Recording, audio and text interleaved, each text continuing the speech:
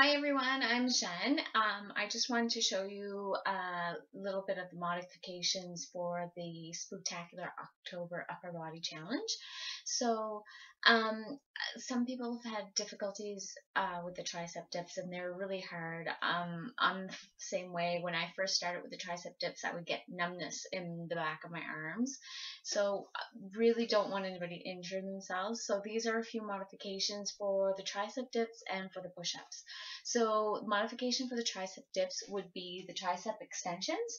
So you just, you bend over like this and you just extend like that. One, two, three, four. And you try to have as much resistance coming back down as you do going up. So you, you stop, okay?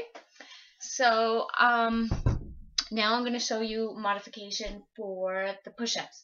And it's basically, it's a wall push-up. So anybody can do this. You just, you stand up against the wall you have your feet further out, and then you just go down to the wall and you push up. Push down and then up. Down and then back up.